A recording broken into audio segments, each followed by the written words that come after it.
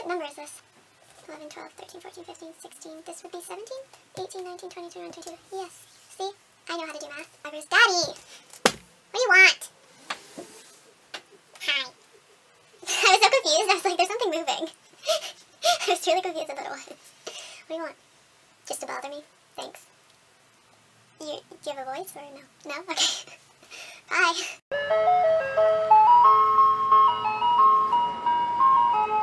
Guys, it's Jay and today I am here with my part 3, which is the last part of my May wrap up. I read a total of 22 books this month. I'm going to talk about the last six books that I read. If you guys want to check out part 1 and part 2, I'll leave cards for them both up there and you guys can watch those as well. So without further ado, let us get started! The 17th book that I read this month is The Unspoken by Thomas Faley. I gave this book a 1.5 stars out of 5 on Goodreads. It's not a bad book, don't get me wrong, I'll get into that later. But it just wasn't for me, so I only gave it a 1.5. Five years ago, six children were the only remaining survivors of a fire that took the lives of every adult in a religious cult called the Divine Path. A few days prior to his death, the leader of the cult, Jacob, prophesied that the six children would end up dying from their worst fears, and this would signal the start of the apocalypse and the new world. Five years later, after the mysterious death of one of these six children, they all come back to their hometown of Meriden to pay their respects and they realize that the cult may not actually be behind them. I don't think this book was bad, it just didn't catch my attention and I wasn't flipping the pages like I needed to know what happened next. I thought it was very predictable and I was able to call the ending and all the plot twists very easily. And I don't like that. I like not knowing what's going on and having to like guess everything, but it was just so obvious what was going to happen. The 18th book that I read this month is Dash and Lily's Book of Dares by David Levithan and Rachel Cohn. I gave this book a 2 out of 5 stars on Goodreads. This book follows a girl named Lily who decides to leave a redskin notebook in the stacks of the Strand in order for a boy to find it. So when Dash stumbles upon this notebook, he realizes that there are a bunch of clues in it in order to find the owner. So Dash does all the clues and he decides that he is going to leave clues of his own in order for the owner of the notebook to find him. So this sets them both on this big adventure to find each other and I did like the book. It was cute but I didn't think it was anything special. The book is told in dual perspective, Lily and Dash. I thought Lily was very naive and it kind of bothered me how naive she was. And then I just found Dash to be very pretentious. I couldn't connect with either of the characters at all. I think I would have enjoyed the book a lot more if I read it when I was like 15 or 16. I think it just wasn't my style. I think I'm a little bit too old for this book. A lot of people like this book, so I probably had higher expectations than I realized when I went into it. The 19th book that I read this month was Teenage Waistland by Lynn Biederman and Lisa Peyser and I gave it a 2.5 stars out of 5 on Goodreads. This book follows a group of teenagers who are going through a weight loss surgery called Lap Band and they enter the support group after their surgeries and they call themselves the Teenage Waistland. The book is told from three perspectives, Bobby, East, and Marcy, and through another girl in the support group named Shar, who is East's best friend who is extremely bubbly and full of life, they all become friends. Only Shar is hiding a secret that may change everything. I think that each perspective was really cool to read from. Each character was unique in their own way and had their own story. I think that Marcy was hilarious and I loved how sarcastic and witty she was.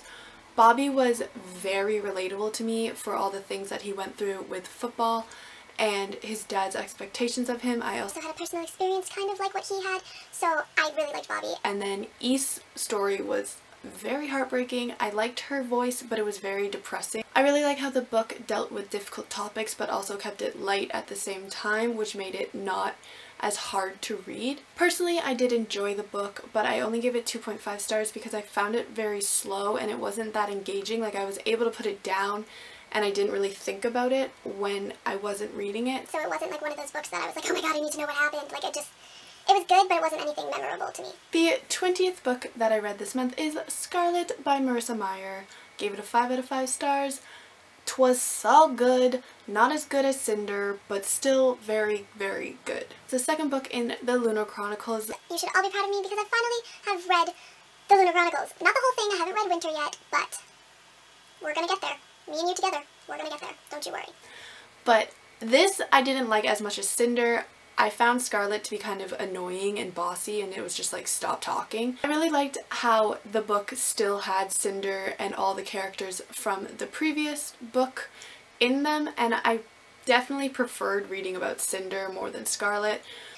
But what are you gonna do? You know the book's called Scarlet so it's more about Scarlet than Cinder, but... I still like that they were in it and Iko is still adorable. I love her. 100% Captain Thorne was my favorite character. I am obsessed with Captain Thorne. I love him so, so much. I cannot get enough of him. He is so charming and witty and he is like my dream. Even though he's not a very good person, I still love him. We're, you know, Jay and Captain Thorne. Jay and Thorne. I think that sounds wonderful together. You know, fictional boyfriend. I love you. I can't really decide my feelings on Wolf yet because like I like him, but at the same time I'm like... You're terrifying and you scare me. But I want to like you. And I do like you.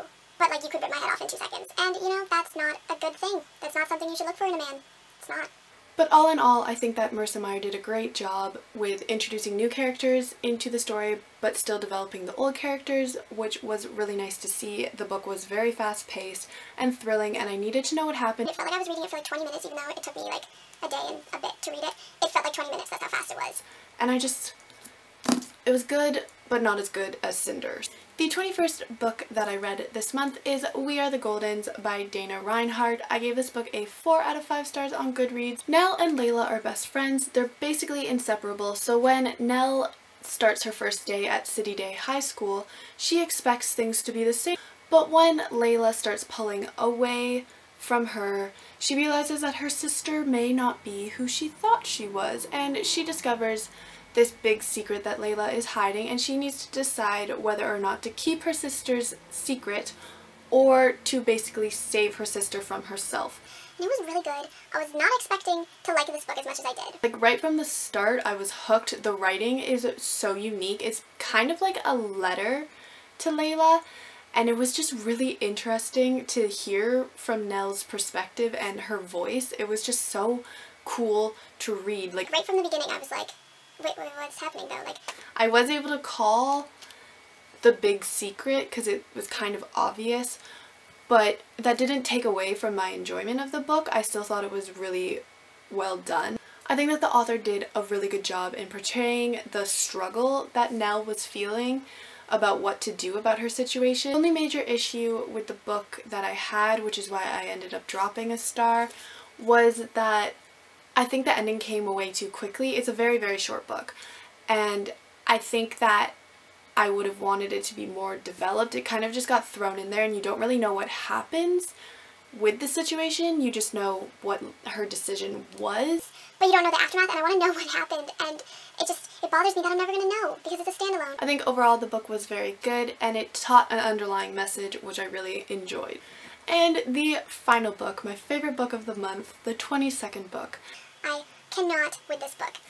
It's Cress by Marissa Meyer. This is 100% my favorite book in the series so far. I have not read Winter yet, which is apparently amazing. But this book, guys, this book, 5 out of 5 stars, highly recommend it. It's my favorite in the series. I love, love, love, love, love, love, love Cress. She's so adorable. I just want to hug her. So, I just want to like squeeze her little face. I love her. And there was so much Captain Thorne in this book, and y'all know now that you've watched this video that I love me some Captain Thorne. So, you know, your girl was very happy about it. Your girl was very happy. And also, of course, the return of Iko made me very happy. I love her. I think she's adorable and bubbly and full of life. And I just, I just love her so much. I just love all the characters in this book. I think it's incredible. Such a good series. I want winter in my life like now, right now. I loved how Cinder was so badass in this book. Glad Scarlet wasn't in there that much. Because I don't like you, Scarlet. I'm sorry. You're, you're, I'm sure you're a good person, but you annoy me. So, you know, I loved it. I loved it so much. That was weird how that book went on my face. It was like, me, but I love this book. Okay, okay. Alright guys, so that was the end of my May wrap-up part 3. 1 and 2. Y'all can check that out if you're interested. I will see you in my next video. Goodbye. yeah. I was going to say Infinite Playlist, but that is not the proper title of this book. I didn't check the author, so I'm not going to know it. I should probably do that. Boy, Bo, Bider, Biederman. Hmm. What way should I hold it? I don't know.